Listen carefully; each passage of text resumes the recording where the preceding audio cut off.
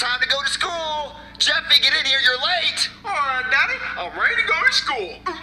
Jeffy, what are you wearing? My tomato head. You're not wearing your tomato head to school, Jeffy. But Daddy, I always wear my tomato head to school. No, you don't. You look ridiculous. Je- Jeffy, come on. It's time to go to school. You're late. Hold on, Daddy, I gotta get my backpack. Yo, hurry up, Jeffy. You're late.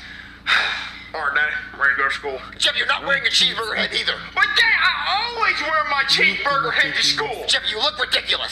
Stop licking me. Jeffy, take that. Look, it's time to go to school. Come on. All right, class. Today we're going to be learning about poverty. Poverty is when boy turn to man and girl turn to woman. That's when your tiny Vienna sausage turn into big hot dog, and when your taco turn into chalupa. Poverty is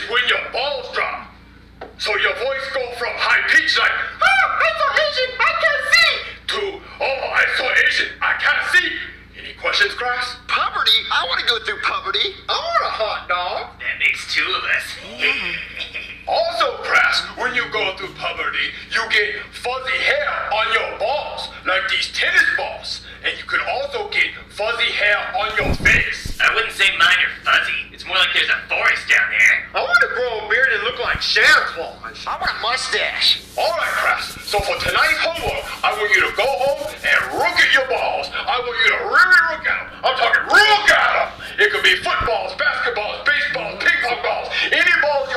I want you to look at them. Can do. Uh, Junior, I'm gonna need you to come over and help me with my homework tonight. Okay. Alright, let's go. Like, like, like, like right now. Okay. Okay, Junior, let's get started on this homework. Cody, when are we to hit puberty? Well, Junior, we're only 11. We're not gonna hit puberty for another year or two. But Cody, I want to hit puberty now. I want a big mustache. Huh, well, it's funny you should say that, because I've actually been working on something.